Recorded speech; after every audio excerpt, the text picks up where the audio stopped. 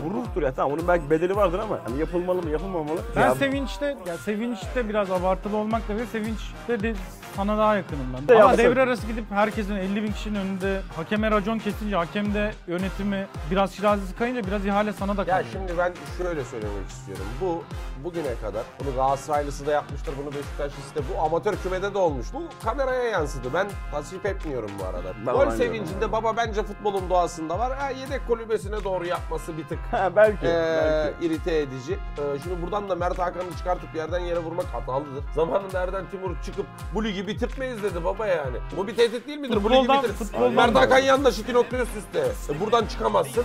Erden Timur iki nokta üst üste bu ligi bitirtmeyiz. Aynı kapıya varmaz mı? Erden Timur özür dilemiş. Ben